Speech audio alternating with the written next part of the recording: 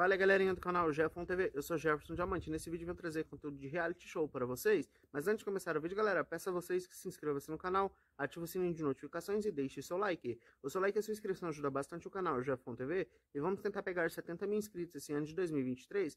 Conto com a ajuda de vocês. E agora sem enrolação vamos para o vídeo galera. O paredão dessa semana está sendo formado por Amanda, Domitila Barros, Larissa e Marvila. Confira como foi o discurso de Tadeu Schmidt para a eliminação da Marvila. Muito bem, chegou a hora. Quando eu terminar, seremos nove. E aqui temos uma disputa para todos os gostos. Temos a recordista de paredões. Temos a última estreante em paredões. Temos aquela que conhece o paredão, mas sem exageros. E temos até quem já foi eliminada e voltou para o BBB. Pois é, a Larissa já foi eliminada uma vez, num paredão que tinha a mesma Domitila. Curioso, né? A Larissa viu como dói sair do programa com tanta coisa ainda por acontecer. Dá vontade de nem assistir pela TV, né, Larissa? É isso. Hoje a Domitila chega ao seu sexto paredão, de um total de 12 do programa. Ou seja, paredão sim, paredão não, a Domitila está presente já enfrentou 12 adversários, mais da metade dos participantes. Amanda já foi ao paredão, mas faz tanto tempo.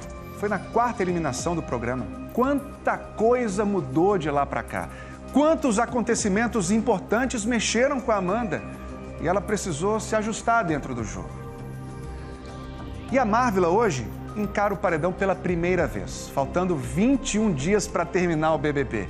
É a última estreante nem por isso vive dias tranquilos. Um dia desses, a Marvila dizia o seguinte: Bom, falar que a Marvila é desinteressante é um absurdo. Maior simpatia, maior gata, nas festas divertidíssima, dançarina, animada. Nunca foi dormir antes dos outros. E claro que o que mais chama atenção é a voz. Cantando, a gente já sabia que era essa voz maravilhosa, Falando também é uma delícia de ouvir essa voz rouca, charmosa. E não é só a voz, é o que essa voz diz. Quando foi provocada a dizer alguma coisa, falou com propriedade. No jogo da discórdia, quando alguém quis crescer para cima dela, ela cresceu mais ainda. Um raciocínio inteligente, resposta precisa, corajosa, sem baixar a cabeça para ninguém. A pior coisa que te aconteceu, Marvila, foi não comprarem mais briga com você, porque ficar na paz te deu um conforto, te vês curtir esse lugarzinho onde ninguém te incomoda. A Larissa sentiu algo semelhante na própria pele. Saiu do programa e viu a exata repercussão disso aqui fora. Quando se apresentou para o embate, foi vista como craque do jogo. Quando encontrou um lugar confortável, discreto, foi eliminada posicionamento, proatividade, pulso firme, coragem. Tudo isso só ajuda. Nada disso tira alguém do jogo. Isso tem ficado cada vez mais claro nos últimos tempos. Vários estilos diferentes de jogador podem levar o título, mas tem um estilo que não emplaca.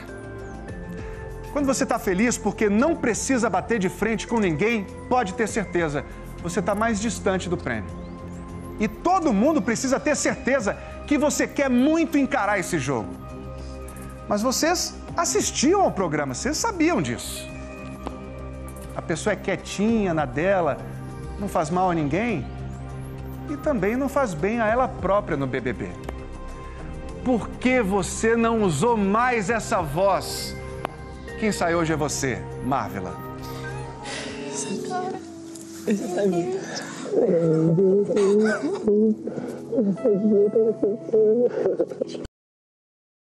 Fala galerinha, vocês gostaram do vídeo? Deixa abaixo nos comentários o que vocês acharam e comente aí, pra quem vai ser torcida no Big Brother Brasil 2023, comente aí, eu estarei lendo todos os comentários e respondendo. E não se esqueça de se inscrever no canal e deixar o seu like. O seu like e sua inscrição ajuda bastante o canal Jefon TV e vamos tentar pegar 70 mil inscritos esse ano de 2023. Conto com a ajuda de vocês e até o próximo vídeo. Tchau, obrigado!